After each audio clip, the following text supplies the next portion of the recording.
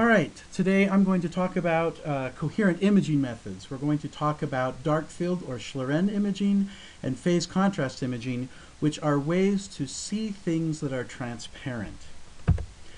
But before we get started, I want to warn you about the lasers we'll be working with. Green lasers are more dangerous than you might think. Um, the green laser pointers you can buy online oftentimes are much more dangerous than they say. Uh, legally, you cannot sell lasers as a laser pointer if it puts out more than 5 milliwatts.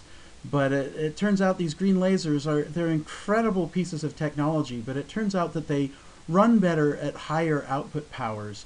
And so most of the cheap ones you buy will actually put out quite a bit more than 5 milliwatts. Furthermore, because of the way these green lasers work, they also output infrared light in addition to the green light. Um, so the lasers we use in our lab, when we bought them, we measured them and we found out that these lasers that were supposed to be 5 milliwatt lasers actually put out about 50 milliwatts of green and another 50 milliwatts of infrared light. Now the cheap red laser glasses you can get online to you know to work with green lasers that don't come from a certified laser company uh, it turns out they block the green light pretty well, but they don't block the infrared. And so now you put on these glasses and you can't see your beam very well, but you've still got 50 milliwatts of infrared uh, whipping around. So um, in our lab, the lasers you'll be using, they are quite bright. They're 50 milliwatts of, of green. You have red laser glasses to protect you from the green, and on each of the lasers we've mounted a filter that blocks the infrared. So as long as you keep your red safety glasses on, uh, you should be safe. All right, you'll recall in last, in previous periods, we did some microfabrication. We took a glass slide, we put on some photoresist, we exposed it and developed it, we deposited lanthanum fluoride, and then we did liftoff to create a little lanthanum fluoride pattern on our glass slide. And the goal of the Coherent Imaging Lab is to make images to be able to inspect our lanthanum fluoride patterns. So here's the optical setup. Here's just a cartoon of what you'll be building. Um, over on the left here, we've got our laser, all right? And light comes out of the laser, and the first thing it hits is a pair of lenses, and those lenses are there to telescope up the size of the beam. There's, their only purpose is to make the beam bigger so that we can illuminate a larger area of our lanthanum fluoride. All right, so uh, to make a telescope, you just put two lenses, the sum of their focal lengths apart. So if I have a collimated laser beam coming in, it hits the first lens and comes to a focus one focal length away. And then if I put this other lens such that its focal point is right there, light coming from that focus will then be collimated. All right?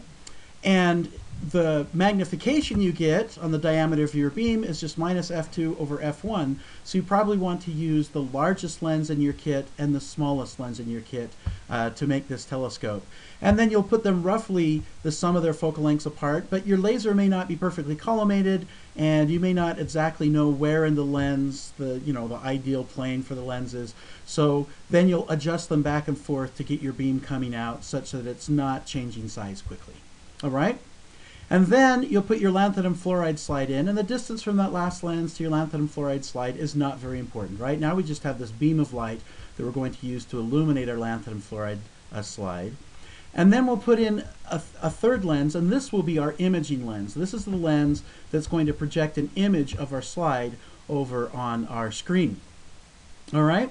And as you'll recall from Physics 123, we call the distance from our uh, object to the lens P, the distance from our lens to our screen Q, to where the image forms, and then we use this equation to calculate Q, so we know where the image will form. And once we know P and Q, we can calculate the magnification of our image. So make sure that you do calculations. Don't just start putting things together. You want to know what you're doing and get things set up the way uh, that will work properly. Now, you probably want a fairly large magnification because the lanthanum fluoride patterns we're looking at are kind of small. If you make your magnification too big, then your image gets dim, right? You're spreading the light over a bigger area. But these green lasers are pretty darn bright. And so in fact, if you don't make your magnification pretty big, it might be hard to look at the uh, image that forms. Okay, so now if instead of depositing lanthanum fluoride, if we deposited, say, aluminum, then that aluminum pattern would block the light, and when we get our image, we'd see a shadow of our uh, pattern. But we didn't deposit aluminum. We deposited lanthanum fluoride, which is transparent. And so when you set everything up and look on your screen, you'll see something that looks like this. Um, yeah, so how do we actually then see the lanthanum fluoride? How do you see transparent things? Well, we see transparent things with our eyes all the time, right? It's like you have a drinking glass made out of glass, and it's not invisible. It's not like you don't see it until you bump into it. So how is it that you see transparent things? Well, transparent things refract the light, all right? And so we, we can tell where it is by the way the light refracts. Um, sometimes we can tell it by how the background, what the things behind the object refract as we look through them. In this experiment, there will be no background. We will be just illuminating the lanthanum fluoride slide with our laser. Everything else will be dark. And if you have an ideal perfect imaging system, if our light comes through and hits a point on our glass object that causes it to refract, it doesn't matter which angle it refracts because the whole point of this lens is to take light that comes from one point and focus it to a point on our imaging plane. So even though our lanthanum fluoride will refract the light, we won't see it on the image plane because it doesn't matter what path it takes, the lens will make sure that it gets to the corresponding point on the image plane. Well, there's two kind of easy ways to see something that's transparent, and one is called vignetting. If our object refracts light at big enough angles, some of that light will not be caught by the lens, it'll be scattered out of our imaging system. So that spot then will get a little darker. So by looking at the shadows in our uh, image, we can tell about, you know, we can find the places where light was refracted out of the imaging system. Another way is defocusing. If I move my imaging plane out of focus and move it forward, then all of these different rays taking different paths don't meet on my imaging plane. All right, so if I'm out of focus, I can also see the pattern. In fact, when you go to put your setup together, a way to make sure you get the focus really, really good is move your screen back and forth a little bit until you cannot see any image of your lanthanum fluoride slides. But why would I want to make my lanthanum fluoride patterns disappear? Why do I not want to use these two methods? Well, there's some negatives to them. First of all, like with vignetting, it's not calibrated. How much light got scattered out of my imaging system? It's really hard to make a quantitative measurement with vignetting. Also, um, with defocusing, first of all, you're out of focus. Your image is going to be blurry. Uh, when we use lasers to illuminate, you'll see the evidence of that blurring as uh, diffraction fringes that will distort the image. Also, both of these methods work best if you have a big refraction angle. They're not terribly good if you want to look at something like a small amoeba that just refracts light a tiny bit, sh uh, shifts the phase of the light a tiny bit, or thin lanthanum fluoride patterns on a slide, which, you know, don't refract the light a whole lot. So let's come up with a better method. And the better, to understand the better methods we're going to use, we need to think about light in the complex plane. If I have a point in my image and I look at the oscillating light, I can represent that light with a vector in the complex plane. The length of that vector tells me the amplitude of the oscillating electric field, and the angle of that vector tells me the phase of that field relative to uh, the light at some other point, all right, some reference point. So imagine our light comes through, it doesn't encounter any lanthanum fluoride, it doesn't get phase shifted, and so we get this representation of our light at some point on the image.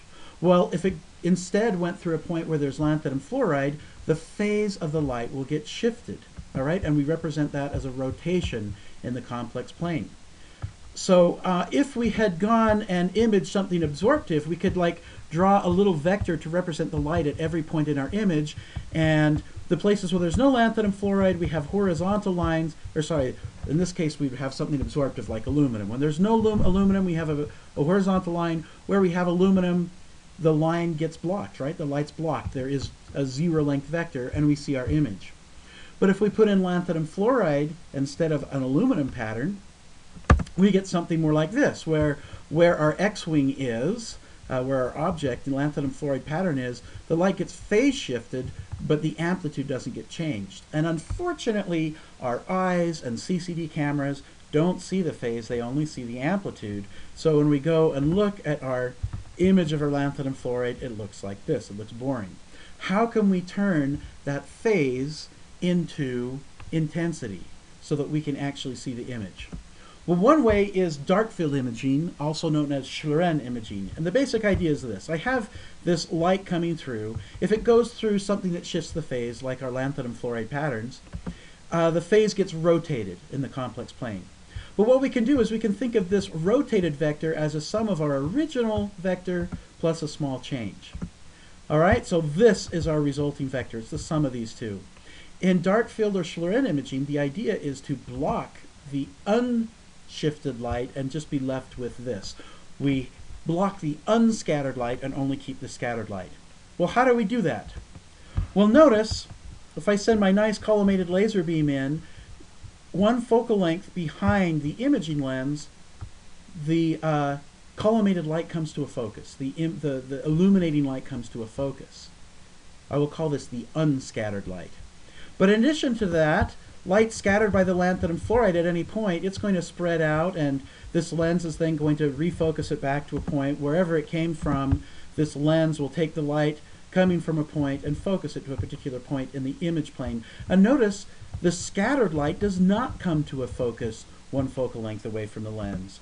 So if I put a wire here and block the unscattered light, only the scattered light gets through and I make my image. So that's how dark field or Schlieren imaging works. We block the unscattered light and only let the scattered light through, right? So we have this vector, which is the sum of the original unscattered light plus a small change. We get rid of the unscattered light and we're just left with light. And how much light we get depends on then how much phase shift there was of the light in that part of the image. Here's some examples of dark field images that I took using set, setup similar to what you'll be building. Here's an X-Wing, the Empire symbol, Ravenclaw. Um, so you see, it works pretty well. But now let's think of a better way, an even better way to make something transparent become visible.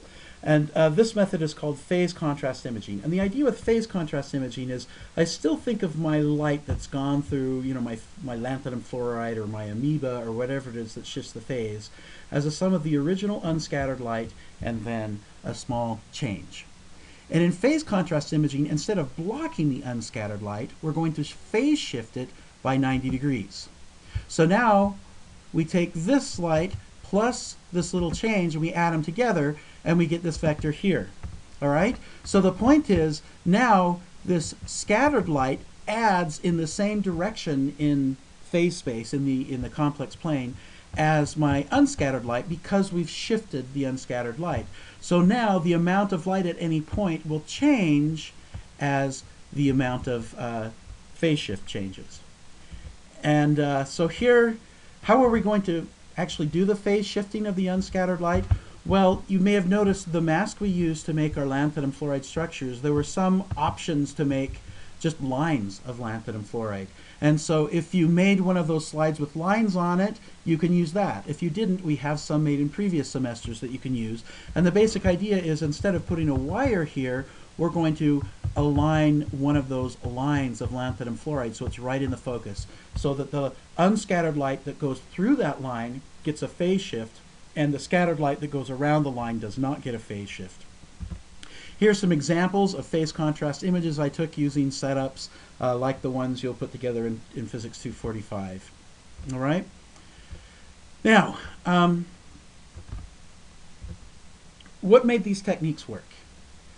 Well, it turns out the thing that made them work is spatial coherence. Remember, we're illuminating with a laser. It does not have to be a laser. It does not have to have temporal coherence. It could be white light, but it needs to have spatial coherence.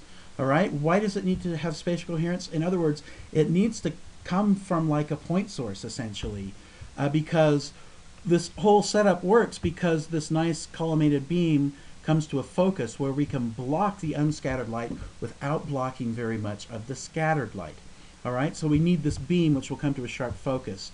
It turns out um, if we use like a light bulb over here, what we get over here instead of a small point is we get basically the image of a light bulb. And we could put something in to block or phase shift the light that goes through that light bulb shaped space.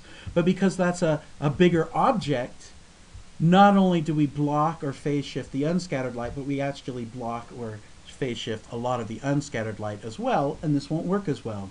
Incidentally, when you buy like a phase contrast microscope, usually those have not laser light sources. They use uh, uh, temporally incoherent light, but it's filtered. Only a small ring of light is allowed to come through. And so over here, uh, the you get this image of this ring, and you can block or phase shift just that ring of light. And it's a very thin ring, so you don't end up blocking a lot of the scattered light when you block the unscattered light. All right, now let's take a look at these two images. Here's one of the dark field images I took, and here's one of the phase contrast images I took. There are two things you might notice. First of all, the dark field only gives me an outline. It turns out on a phase contrast microscope where you use the ring illumination instead of a laser beam, which is like light coming from a point, you don't get the outline. You get things filled in. I'm going to let you think about why that would be, and I'll give you some hints at the end of this, but I'm not going to give you the answer. But the other thing you might notice is this is just a sharper image than that one. Why did the phase contrast imaging give me a better image? Well, here's part of the story. All right, when we do dark field imaging, right, we take our light coming in at some point, but it gets phase shifted because of the lanthanum fluoride. If that phase shift, right, we can we can write this complex exponential form as a cosine plus a sine. In the limit of very small phase shifts, the cosine is about equal to 1 and the sine is about equal to phi, all right? And then we say, okay, I'm going to take this and take the magnitude squared of this, oh, sorry, then we take, so E naught times 1 is our original light, which we block, and we're left with just E naught times I phi. But remember, intensity goes as the magnitude of the amplitude squared. So the intensity then, since the amplitude goes as the phase shift, it goes as the phase shift squared. But when we do phase contrast imaging, all right, we don't block the unshifted light, this one right here, we just phase shift it by 90 degrees. So now instead of going away, it becomes an I. And when we take the magnitude of this squared, we get something that is a constant offset plus 2 times phi plus phi squared. Now remember, if phi is really small, phi squared is really, really small. So with dark field imaging, the intensity goes as phi squared, which is really, really small. With phase contrast imaging, the intensity change with phase shift goes as goes linearly with phase shift, which is only small. All right, so here's a plot of phase contrast versus dark field imaging intensity as a function of the phase shift that the uh, you know the lanthanum fluoride or the amoeba or whatever it is you're trying to image imparts on the light. And you can see the dark field imaging, the kind of the intensity as a function of phase shift is parabolic with a very with a zero slope at zero and then a slowly growing slope Whereas the phase contrast starts at an offset, but then it has uh, a nice linear slope. So for small phase shifts, you get much more signal from a phase contrast. Now the phase contrast does have this offset that it sits on top of, right? If there's no phase shift, you still get light, whereas with dark field, you just get nothing. All right, and that can be a problem. But one nice thing about this offset is that you can tell which way the phase shifted. If the image gets brighter, that means that the index of refraction was greater than 1 of the thing you went through. And if it gets darker, it means it was less than 1. Whereas with dark field or Schlieren imaging, you always get positive light uh, regardless of the sign of the phase shift. Okay, now just one last thing to know about, just, just as an idea. Uh, if you get done with doing your imaging, you might want to try and model the imaging that you do. And you can do that with Fourier optics. It turns out um, the light at the focal point where you're blocking it is just the Fourier transform of the light coming through your lanthanum fluoride slide. So um, if I have light coming through my lanthanum fluoride slide, all right, I could just say, well, let's say I have some Gaussian laser beam and I'm going to block part of the middle of it, right? But pretending I did aluminum, and I'm going to make a shadow or whatever. Or instead of blocking it, I can just put a phase shift in in that shape. Like I've got this nice beam coming in, the phase is the same everywhere, except where my lanthanum fluoride is, I'm going to shift the phase of the light. All right? And then to find out what the light does one focal length away from my imaging lens, I just take the Fourier transform of that. All right? And then if I do the inverse transform, then I'll get what I get at the image plane. But before I take the inverse transform, I can do things like I could take this line in the middle and, and block it, set it to zero. Or I can phase shift it to simulate phase contrast imaging. And then when I do my inverse transform, I will get the, a simulation of the image that I would form. So uh, hopefully, if you have time, you can play around with Fourier optics and uh, in the process, hopefully you will figure out why the dark field images resulted in just the outline of my uh, of my lanthanum fluoride rather than light everywhere my lanthanum fluoride was.